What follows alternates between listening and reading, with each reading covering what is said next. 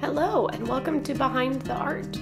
This is Kyra Hinton, and today we're going to be talking about Enneagram 7, the creation of and inspiration for this painting. So, my husband is a 7, and when I first had the idea for 1, I had the idea for 7 almost immediately. Um, and it came to me as a story. The idea that there's this beach that's that's advertised far and wide as the best shore in the area. The best sand for sandcastles, the best waves, the best place for campouts and family trips and stargazing. All around, it's just the best place for fun. And it's always new. You know, waves and tides bring in new discoveries and new ways to have fun.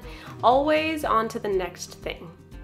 And the beach mm, doesn't mind these advertisements. It loves the fun and laughter on its bright sand. The beach often forgets that it is not all shore.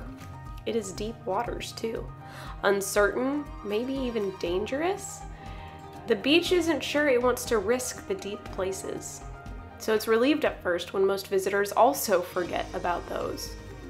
But the beach cannot deny that half of themselves forever. The fun seeking and avoidance of pain cannot always drown out the desire to be still, to discover, to learn, and to be at rest in themselves. As the beach matures, more and more space is left for the water. You know, fun lives out there too, and scuba diving and big wave surfing. Sure, it's a little more dangerous, maybe uncertain, maybe scary, but worth it. The depths are so, so worth the risk of being still. Listening to the waves and knowing that there is beauty from deep within.